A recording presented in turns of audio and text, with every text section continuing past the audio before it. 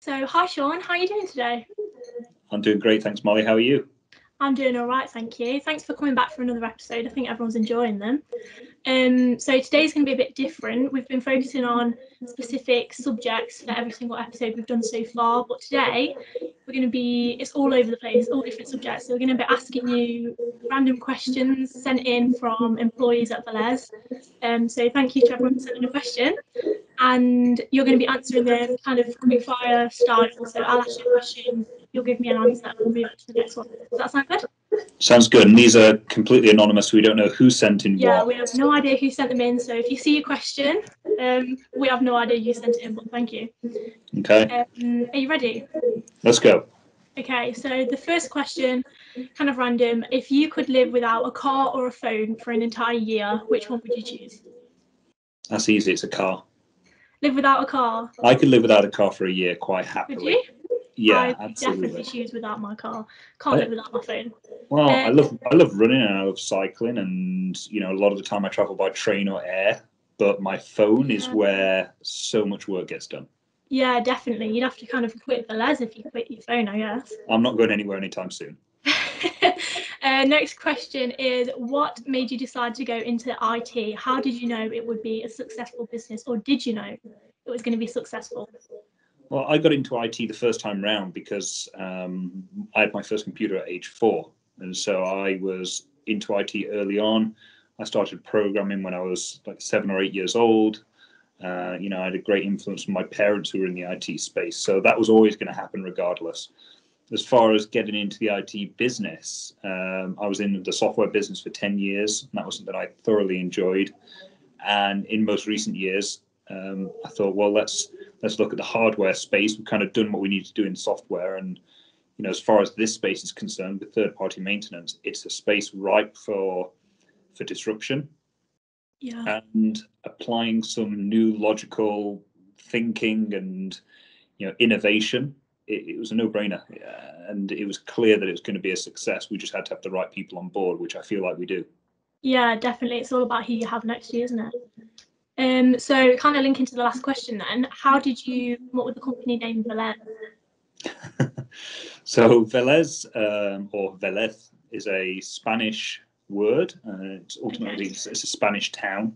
Um, I grew up in southern Spain for most of my childhood and adolescence. Oh, I didn't know that. So I spent close to 10 years living in Spain. Um, from a youngster, I went to Spanish schools. Uh, all my friends are Spanish, you know, so I'm still Can you fluent. speak fluent? I'm still fluent today. Oh, that's Um, impressive. it's been a few years since I left, but I'm still fluent and I still uh, speak to people in Spain and we communicate in Spanish, obviously. It's strange when you can still dream in another language as well. So I still dream in Spanish occasionally. So that's a Oh strange one. Yeah, um, that is a strange one. But Velez is part of something called Velez Malaga, which is an area um, around which I grew up uh, as a younger as a younger lad.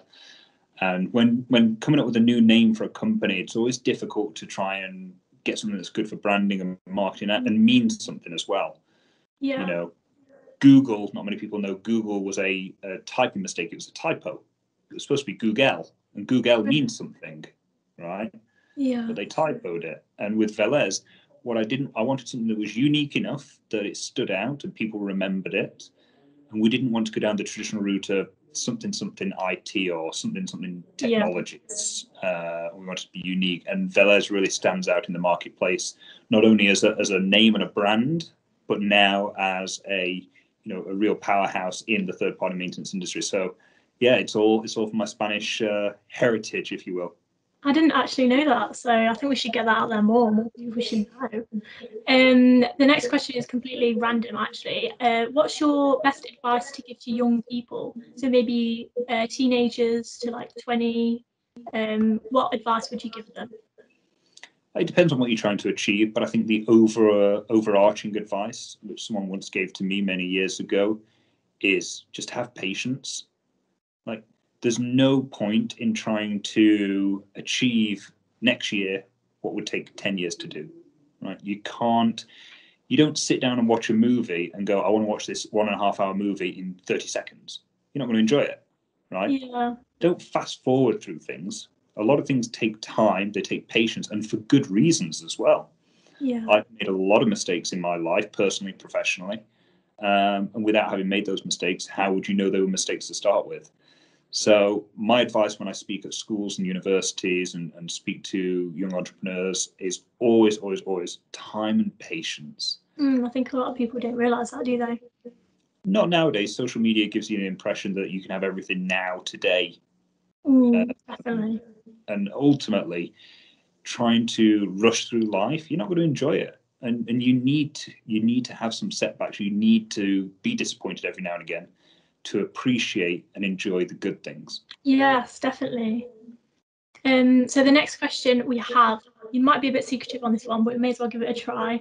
Um, do we can we hear about any big plans you have for Velez in 2021, other than obviously the growth in staff? Because everyone knows about this now. Velez has grown massively in 2020, and you want to grow in 2021 as well. So is there anything else big that you might want to tell other people about?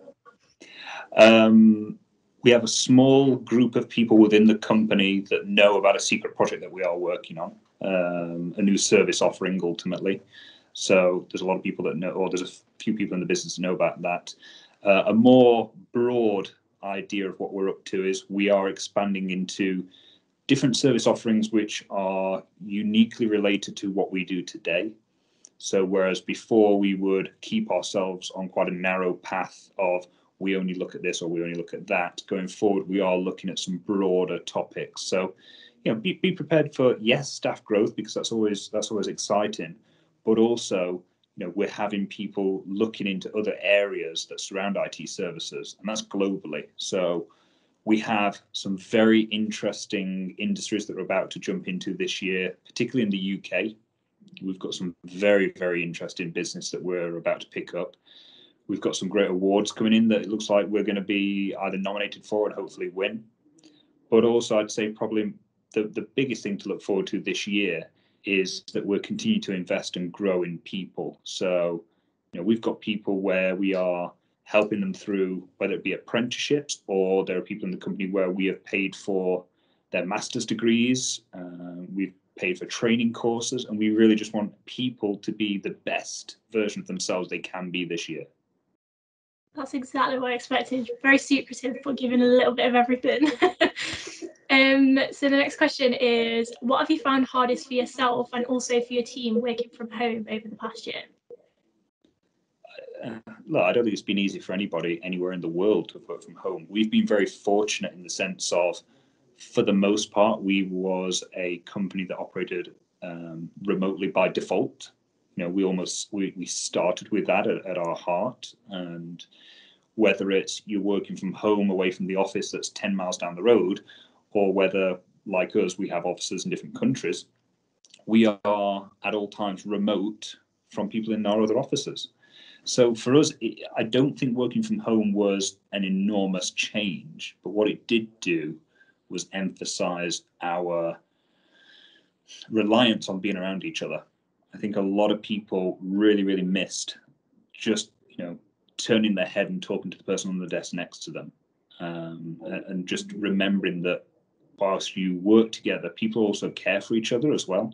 Mm. And certainly for me, I was really struggling with not being able to see all the people that I work with in any of the offices, see them up close, be able to have a joke with them and a laugh and, and you know, as we say, see the white of their eyes. You know, that human contact. That for me was very difficult because I try and be close to a lot of people in the organization if I can. For everyone else, I think it was the normal that's plagued most of the world mental health issues with being locked down and unable to get out and about. Um, but yeah, the biggest thing is definitely that human connection. And I feel that now we have, particularly in the UK, a roadmap of where we're heading, hopefully that is that's starting now to to just come come to light a little bit better. Mm, giving people a bit of hope, isn't it? Um, so on the topic of motivation, it actually links in well. How do you remotivate yourself if you've had a setback? Um, quite simply, really, is you've got to understand that setbacks happen, and and it's linked to one of the previous questions when we talked about you know bad things happen and good things happen, and you've got to move forward and grow and develop is you cannot go through life without experiencing setbacks. And for me, I always look at a setback of what went wrong first. And not that I beat myself up about it. I don't overanalyze it to the sense of, oh, I did X, Y, and Z wrong, and this is the most terrible thing in the world. I say, right, what are the fundamentals? What are the basics? Where did this go wrong? Why did it go wrong? And how do you prevent it in the future? And look at every single setback. And I've had some horrific setbacks over the years. Uh, but look at every single setback as an opportunity to go, well, next time I know about doing this, or I know how to figure this out. And I think if you've got great people around you, those setbacks become very good learning curves.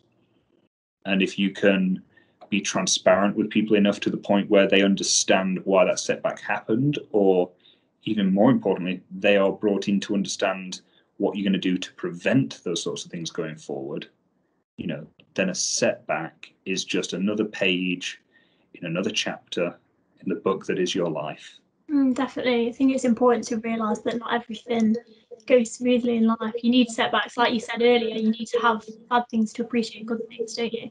Absolutely, absolutely. You know, the, uh, and, and anyone that has watched any of the Rocky Balboa films, you know, over the years, um, you know, there is a scene in one of the Rocky films where he's talking to his son, and he says, "It's not about how hard you can hit; it's about how many times you can get hit and keep keep standing up."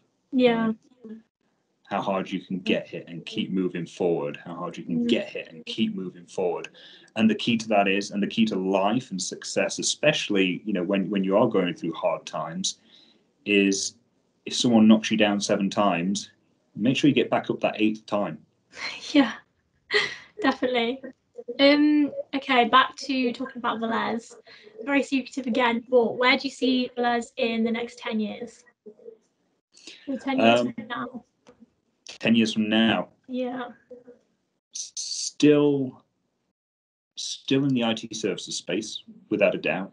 And we have we have a rolling five year plan, so we know you know sort of where we're heading over the next five years.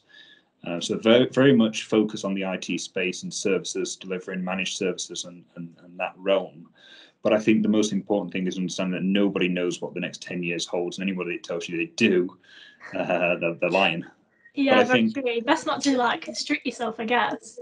Yeah, no, exactly. I think the the biggest thing for me when I look at the next ten years um, is I'm looking at people in the organisation and I'm looking at them where are they going to be in the next ten years, because that will that will dictate where the company is. Because Good way of looking at What- well, one of the things that's really important if you take um, you know uh, our VP of Service Delivery, Trevor, he was in one company in particular for more than 20 years and started out you know low down on the in in the uh, in the company and ended up as a director of the company you've got from our podcast you hear of steve studley that started out as a as an engineer became the ceo of the company uh, in i think 15 years. You've got dwight strayer at service express. Similar story employee number four as an engineer became the coo of a you know thousand or close to thousand person company. So I'm looking at people in the organization going, okay, if I can help you over the next 10 years and you can become director of marketing, you can become COO, you can become CMO, you can become CEO. That then, because you're going to then take the company in the direction that you believe is best. Mm. It's not it's not what I think in 10 years' time. Yeah, I like that actually. Um, so something more about you. Um, how has the pandemic and the past year affected your daily routine? So just you in general, I guess, your life. uh, dramatically, uh, as, as it has for everybody, right? So, um, pre-COVID, pre-pandemic, um, I would travel a lot. I would fly an awful lot. Uh, it was not unusual in a year to fly 60 plus times. That was quite quite the norm, unfortunately. Um, my, my daily routine would normally, most days, I would go to my local swimming pool at 6.30 in the morning. I'd go do laps in the pool uh, and then come to work. And, you know, several times a week I'd run and several times a week I'd cycle. And that was kind of my life and revolving all of that around my primary um, uh, importance, which is my son. Now with the pandemic, there's there's no gym, so I, had to build a home gym, so we've got the home gym going, um, and trying to just navigate the normal circumstances that everybody has. So mm-hmm. I think everybody's daily routine has been disrupted immensely. And I'm so, so excited and, and, and looking forward to getting back to the gym. I really yeah, am. You're missing it. Absolutely. Um, speaking about you used to travel a lot, what's the ba- uh, the best place you've ever visited? This is one of the things that is really um, misunderstood. I feel about business travel, especially right. And there's a guy um, called Granite who I always used to joke about, and I said, you know, my new home address is seat 3A on the Boeing 747 because I'd spent so much time in an airplane. The thing that's misunderstood so much about uh, business travel, especially, is that normally it is get on a plane at a silly time. You're traveling for hours. You arrive at a hotel. You dump your stuff. You shower. You go out to do all the meetings that you need to do you know do the work that you need to do and then you're back at the hotel and then eventually you're back on a plane. So you don't actually get to see or experience yeah, the locations. So i have been so many places all over the world but i couldn't tell you a lot about most of them because they were work related. Mm. and so i am keen going forward when the world reopens a little bit more to spending a little bit more time in some of these places. So my favorite place to date uh, is is probably going to be quite cliche. It's going to be something like Los Angeles, right? Um, I, I enjoyed out there. It's a beautiful place if you go to the right parts. But yeah. there are so many places around the world that I've been to, and I just I haven't seen them properly, which is a shame. Is there anywhere you go to that you've been to before that you think I didn't see it properly? I want to go again. Yeah, I think um, Australia, for example, I've been to before. I didn't really get a chance to experience it very much, um, and I think even places like Poland and Bulgaria. Uh, I mean, I went to Bulgaria last just over a year ago. I flew in, did a meeting, had a sandwich, flew back out again in less than twelve hours. and I'd love to. I'd love to have seen more of it because there are parts that look very beautiful. Mm, so, where's your favourite place non-work related? Then, would you say that's Los Angeles? Um, yeah, I guess so. Uh, a lot of people maybe prefer New York. I feel like I've done New York a few too many times now. Um, in fact, I'm jealous. I'd love to go to New York. well, Dan was with me. Our, our, VP of Sales was with me in New York this time last year, and um, he'd never been before. And I said, "Look, we've got a day spare on this trip. We've got a spare day. I'm going to do all of New York. I'm going to show you all of New York in one day. Um, and we did it. You, you, you can get to New York in a day. We, we were tired afterwards, though. I'm jealous. Um, so I think the next question we have is actually quite clever, and you're probably going to hate it, but I'm loving it. It's what is the one question you did not want to be asked, and what's the answer to it? People do ask me this, but it is very rare that they ask it and my answer there is, But a question I do get, and I think people would like to ask, is often why. Why? Why I do this? Oh, okay. Because have an answer. sort of, yeah. I think you know, I, I've had great experiences and, and some successes over the years previously, and, and you know, life has been pretty good to me. So a lot of people ask, why do you do this now? Why start another company or why be involved with another business and so on and so forth? Um, for me, I, t- I take enormous, enormous pleasure out of seeing people grow.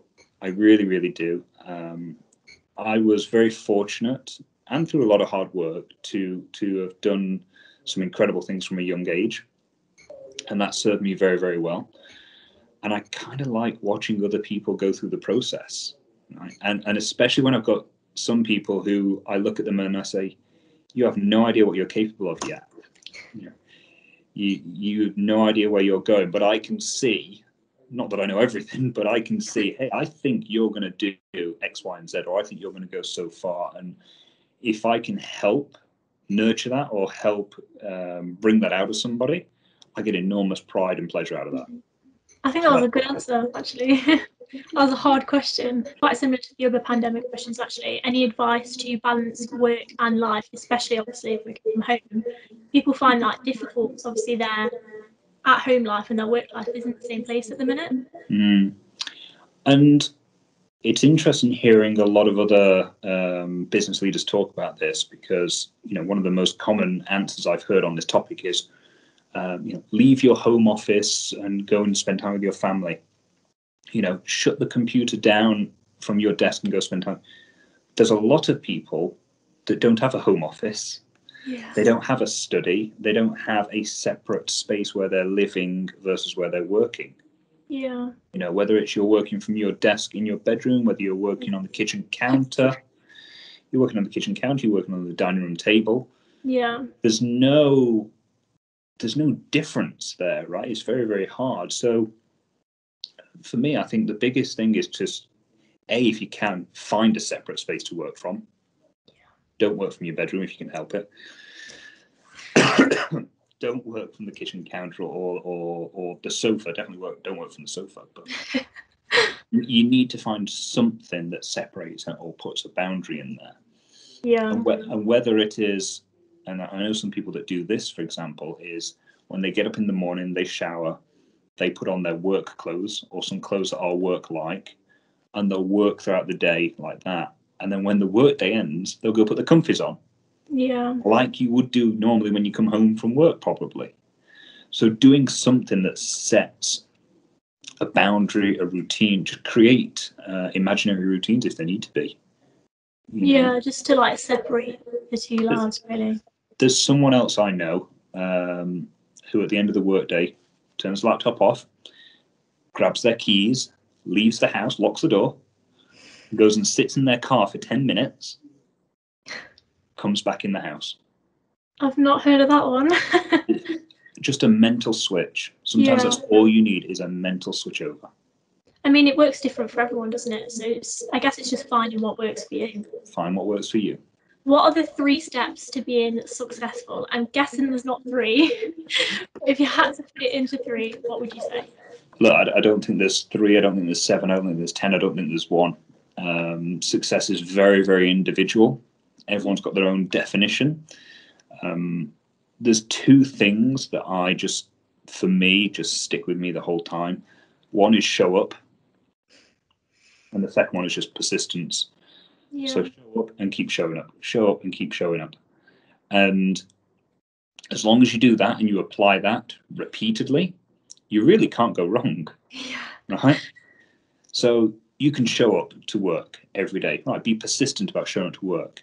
And then you can show up in the work that you do. So you don't do the minimum, you show up, you bring forward what you're capable of, and you do that with persistence. Yeah and then you work on self improvement. So you show up to a course, you show up to a seminar, you show up to reading a book, you show up to doing something that progresses you, and then you stay persistent with that. Yeah. So show up and keep showing up. actually, because it's just that initial motivation and routine that really gets people into, I guess, being successful, isn't it? It is, you know, show up and keep showing up. So showing up and persistence, those are the two things that repeatedly are going around in my head. You have a bad day, show up, keep showing up. You have a good day, you can't go show wrong. up, keep going up. Yeah. Um, so another question about yourself. What is your absolute favourite hobby to partake in outside of work? Um, well, pre-pandemic, it was triathlons. I, I absolutely love participating in triathlon. For me, it's it's such a an achievement to to exhaust yourself swimming, get out, jump on a bike, exhaust yourself on the bike, put that on the rack, and then go for a, a long run. Um, that's my biggest hobby is training for and participating in triathlons. During the pandemic, I would say I've become an, an avid Lego builder with my son. uh, we've, we've bought more Lego sets than I care to think about at this point. And we're building anything from uh, Avenger jets and figurines and um, robots of Thanos and, and Iron Man through to building Star Wars, AT-AT walkers, and uh, and X-wings and Tie fighters. So I've been enjoying that. It's quite therapeutic, actually. Is it more of a hobby for you then, I'm guessing, than your son? Well, he's four, and I'm buying him kits that are 12 years old plus. So what do you think? Sounds fun. I've not heard that one. I didn't expect it, but there you go. Um, so the next question we have, I don't want you to give too much away actually, because in our last episode, just a, a little plug, uh, we did about the IT sector, past, present, and future. Um, so everyone should go watch that if you want a bit more about that. But the question is, how do you think the IT sector will change in the next five years? Well, I think yeah, I think we talked a little bit about this in the previous one, but in the immediate five years, I think you're going to see um, a lot of people return to the office. I think that's going to be the first thing that we see. There are a lot of corporates that have said, "Hey, you work from home permanently," so on and so forth. But whilst they're saying that, not a lot of them are getting rid of their office spaces. Mm. It's giving people the option, which is the important part, right? So I think we're going to see a lot of people return to the office quickly. Um, in due course. And I think when that happens, the biggest change we're going to see for the next five years is that we're going to see a lot of people get involved in a lot more diverse projects. So now that digital transformation has sped up and has become much more prominent, we're going to see people looking at, hey, how do we advance things like AI? How do we advance things like machine learning? Because now the world's gotten much uh, closer to some of the digital transformation topics we've all been talking about for the last few years. Now we've actually got to make the advancements. Mm. You know, now we're at the point where hey, we need all of this uh, stuff. Now we need to work towards it. So I'm seeing a, a lot more uh, activity around things like data scientists and big data analytics. We've we've been talking about it for years, and yes, there've been projects around that, but I think you're going to see a lot more now where um, we see advancements in these areas quite quickly. So be prepared for some real, real interesting projects coming out. I would say. Mm, it's quite exciting, actually. Very, very exciting. Another question about Velez. Well, I guess it's about you actually. If you had to choose your ultimate favourite part about Velez, what would it be? I really, really enjoy the trips that uh, we get to go on, and I know we've not been able to do many uh, recently, but you know, it wasn't that long ago. We took a lot of staff up to the mountains, and we we hired uh, cabins up in the mountains and and went on some hikes. We went to Albania, and we did similar hiking through the mountains there on another trip. We certainly had ambitions and have some ambitions this summer to do a to do a bit of a trip where we're going to take uh, a lot of people to the beach uh, and uh, overseas, including the UK team. So you know we've got some exciting trips planned. So I'd say my favourite part are those trips where everybody everybody that participates participates on the same level. So it doesn't matter what job you do, what role you play, you're another person wearing boots, trousers, t-shirt, and sweating as we climb up these hills. everyone's equal. everyone's equal, and I get the best job in the world, which is I get to run to the front of the group and hike with them for a little while and talk to them, drop back to catch my breath and talk to the people in the middle of the pack a little bit, you know, and I just get to engage with everybody. And and for me, I, I enjoy nothing more than chatting to someone as we're as we're out of breath on a hike for four or five hours and learning more about them individually. And mm-hmm. when you can spend the day talking to people in your in your company and you get to understand you know who their partners are, what their parents do, what their brothers do, the you know the the sister that's just graduated with a law degree, so on and so forth. That, that there's no, nothing better than that for me we were talking earlier about different um, organisations making, well, letting their employees work from home or from office. What are your thoughts on choosing, letting your employees choose where they work um, after lockdown? This person actually added in a blog from Spotify. I don't know if you've heard they're letting their employees work from anywhere. Um, well, soon. I don't know if they're doing it yet. Or what are your thoughts on this uh, within Velez? Yeah, and I think I might have commented on that blog actually um, on LinkedIn at some stage saying it's a great idea. So the tricky part around this is that companies invest in office spaces and some invest in nice office spaces, some not so nice. You know, we always try and, and make nice office environments for people. I think the biggest problem is some people are more productive at home, some people are more productive in the office, some people need the flexibility for family reasons. Some people want the flexibility for their own personal reasons, and that's fine. I'm of the opinion, and it's kind of where we're heading as we move forward, of allowing people to be as flexible as it works for them. and I think Yeah. it has to be driven ultimately by performance. Is if you are highly performant at home but not in the office, or vice versa, that needs looking at.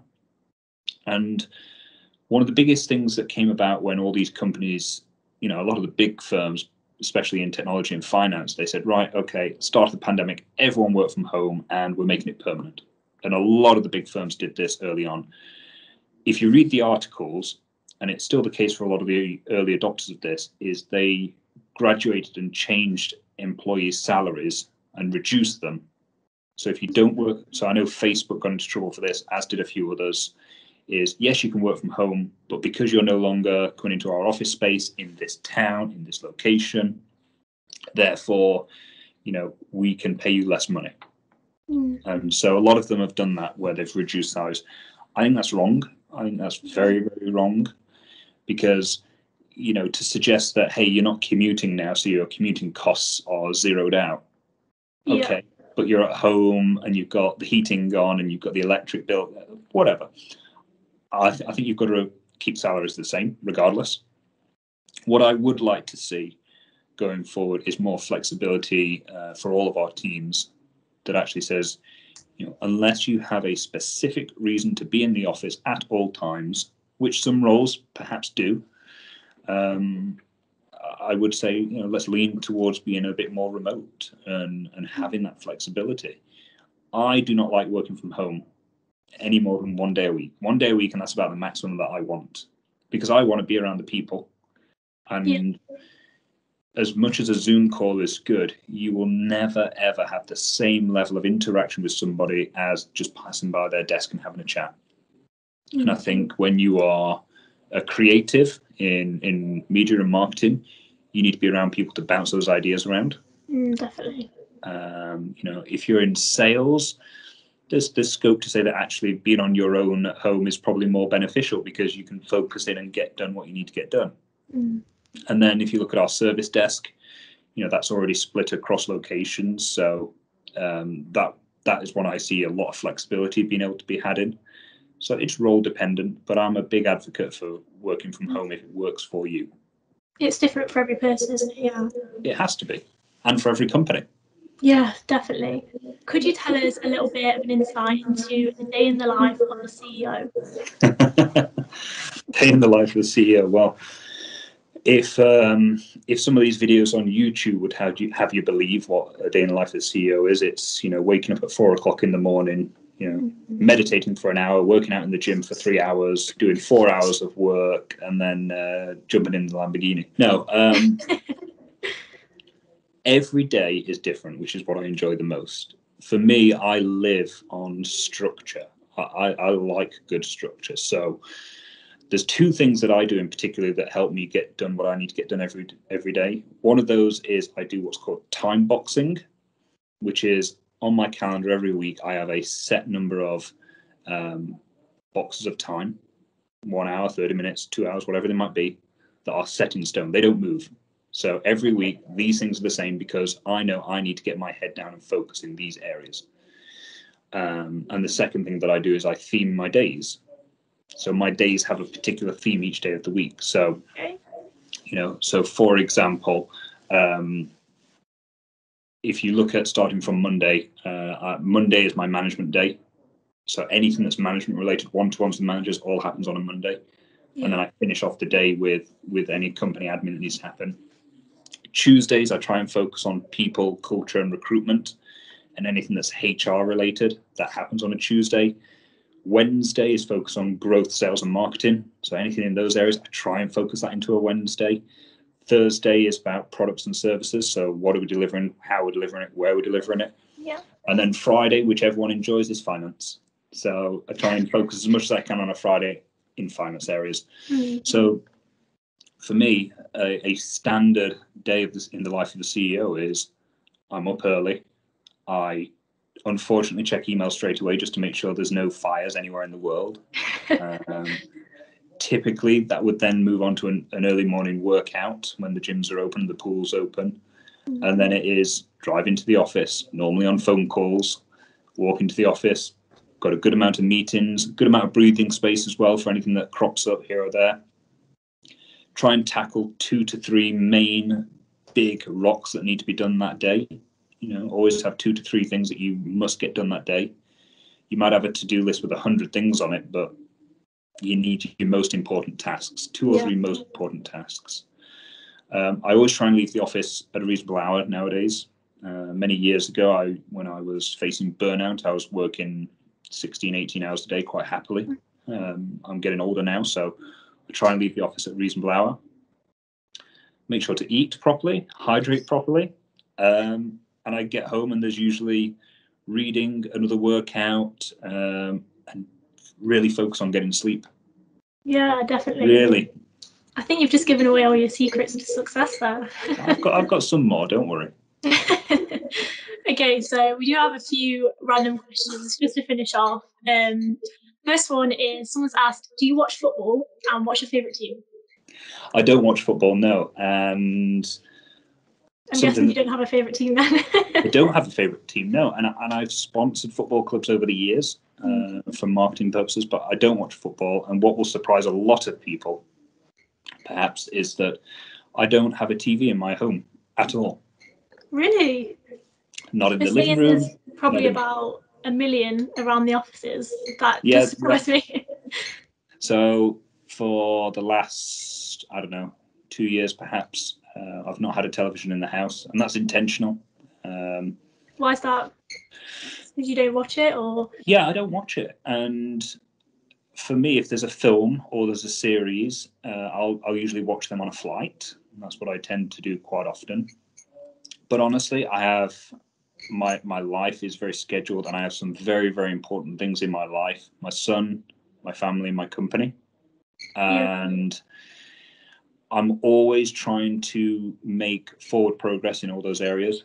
Be a better dad, be a better CEO, be a better partner, be a better son, brother, whatever it might be. And so when I'm home, I'm reading or I'm relaxing. And yes, you can relax to Netflix, but honestly, my days are very intense. So when I am home, if I'm relaxing, it is either via reading or it's sleeping. yeah, So no TVs at home. yeah. I didn't expect that to be honest. But a bit of a secret into your life there. Do you have any regrets in your life? Uh, Well, going back to what we talked about before, right? You're always going to have setbacks and so on and so forth. Um, I don't believe in having regrets. Um, there have been people in my life that have copied what I've done. There's been people that have ripped me off. There have been people that have scammed me. There's been people that have hurt me physically, emotionally, mentally, whatever it might be. yeah, Um, but I have no regrets, and everything happens for a reason. I believe those reasons are ultimately part and parcel of life and the path you've taken, and, and so on and so forth. There are good people, there are bad people, and there are people in between. So no regrets. I like that. I like that way of looking at it.